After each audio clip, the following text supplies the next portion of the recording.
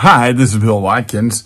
Today we're continuing with the thought of the Christian graces that we began in 2 Peter chapter 1 verse 5. It says there, add or lavishly supply to your faith virtue, to virtue knowledge, and knowledge with self-control, and self-control with steadfastness, and steadfastness with godliness. And then we come to verse 7 of 2 Peter 1, where he says, and godliness with brotherly affection, or in some translations, brotherly kindness. Philadelphia, we get our word Philadelphia from that, the city of brotherly love. It literally does mean love of brethren.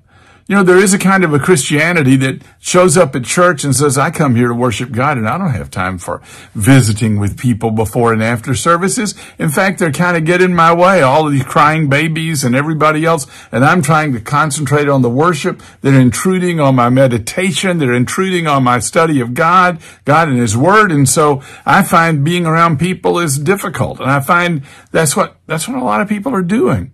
They're thinking that being religious is somehow between me and God and forget the fact that it's all about me and God and the people that God loves.